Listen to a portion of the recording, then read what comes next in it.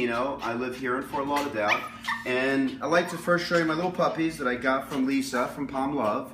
And of course, you're gonna love these little puppies because they're adorable. But you know, I've had dogs for for at least 20 years. Okay, here are my other two little guys over here, uh, Chubbs and Mitzi. And believe it or not, they're almost they're about 18 years old, 18 or 19 years old.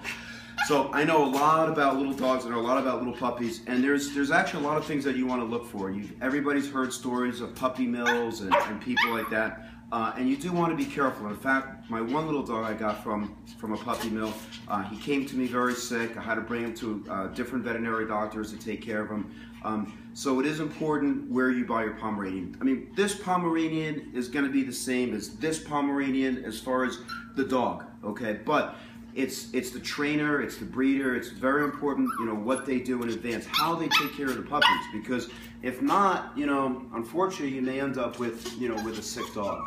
Um, a couple things I think are really good about uh, about Love is that um, you know she doesn't just give you the dog and then and then say goodbye. I mean, she really really makes sure. She she had to ask us like, it, it seemed like I was being screened to see if if I qualified as a, as a customer to buy her dogs because she doesn't just you know sell her dogs to anybody. She really wants to make sure that that her dogs are really taken care of.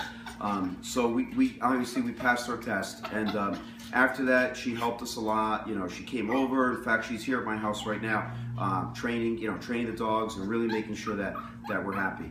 So um, I'm happy to do this little video, and I would highly recommend Lisa and, and, and her company.